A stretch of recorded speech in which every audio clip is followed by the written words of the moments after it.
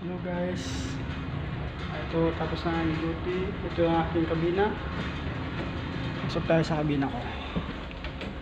Switch on. Yan. Yan, this is my cabin. Pasok mo, dito na yung CR. Ito. Switch mo lang. Open. Pagbukas. Sa may ilaw. Yan. Hanggang na, unti-unting sisindihan. Oh. Yes, dito, toilet. Ito yung bowl, toilet bowl. Shower room, shower. Dito, may hot water, hot water pag malamig. Tapos, ayun natin, para. Ito ang aking higaan guys sarap mahiga pagkatapos ng duty. Ang duty ko kasi is 12 to 4 ng umaga, 12-4 ng umaga, tapos uh, 12-4 ng gabi. So, ang pahinga ko, ngayon, patapos ng duty ko, ah, alas 5 na ngayon eh. Ah, alas 5, so, kaya napatapos yung duty ko. Okay, pagkwentuhan muna ako dun sa kapalitan ko kanina ah si OS siyang pumalit sa akin ganyan sa duty. Duty and watch lookout lookout ang ano namin dun sa bridge. Tapos A few moments later. turnover ko. Patas pala ng aking duty. Ah bago matapos 30 minutes ang aking duty nagpapatrol ako. Fire patrol. Check ko yung mga ano sa mga D-deck, C-deck, B-deck, upper deck kung may cause ng fire o sunog. Kasi dito ang barko ko is tanker. Ah, kailangan laging safety. Safety ang una. Kasi once na hindi ka ano sa safety disgrasya na. Kasi ang barko na to once na ano pwedeng sumabog sunog fire basta mga delikado na ano. Ngayon ah papalit ako ng ah, may ano ko may notes mga ano ba mga hindi ko alam. Ano ko yan ah nililista ko pag first timer kasi international vessel medyo nangangapa-ngapa ka rin.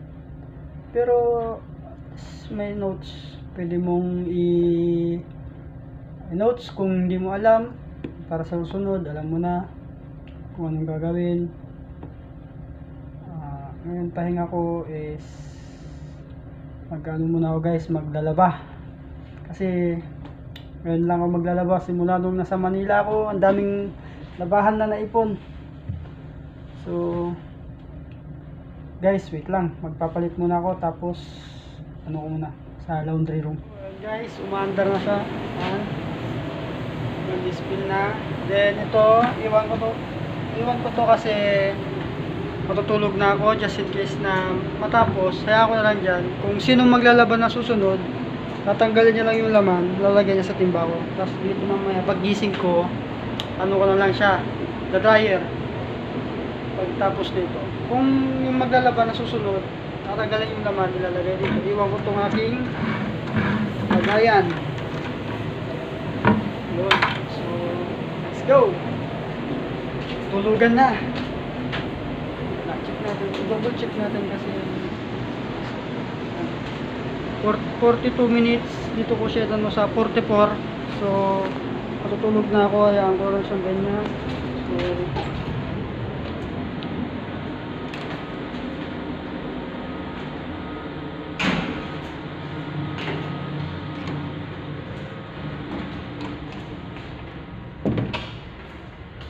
Ayan, pasok ulit sa kabina.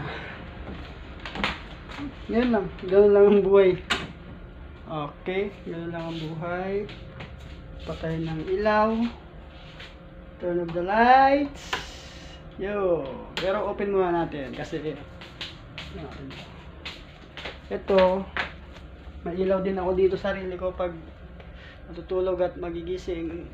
Ito, ano mo lang to. Yan. Yan. So, ano ba guys? Turn off the lights na at matutulog na at ang oras na ngayon is 5.12 ng morning.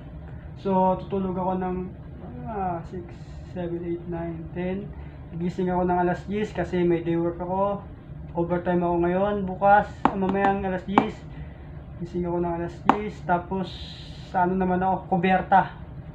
Tapos mga 11.30 kain ako. Duty ako sa bridge ng 12 to 4 ulit. Ganun lang ang buhay ganun lang ang trabaho. Ganun lang ang duty dito sa barko kaya kailangan nang matulog kasi kailangan magpahinga. Katatapos lang ng duty sa bridge. Kaya guys turn off the lights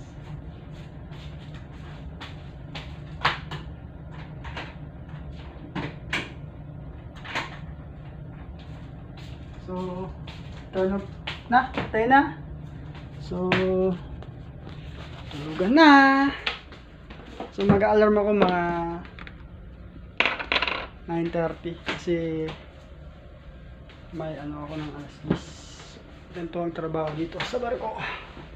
So, guys, ano ba yan? Hanggang dito na lang ang vlog. So, see you to my next vlog. Turn off the lights na. Bye-bye.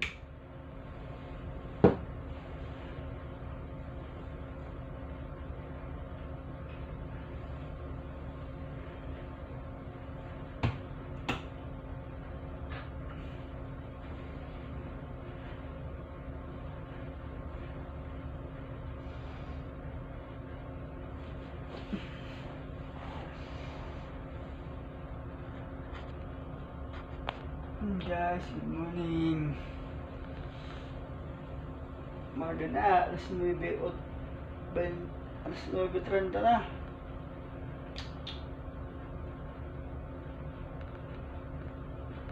So, maliligo na naman. Tapos, juta. Overtime, hindi ako nakatulog ng maayos kasi maalon kanina. So,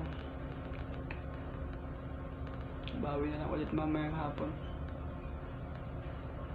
Tapos, yun nga, maliligo na, kakain. Tapos, yun, duty. Sa baba, day work naman. Sige guys, salamat.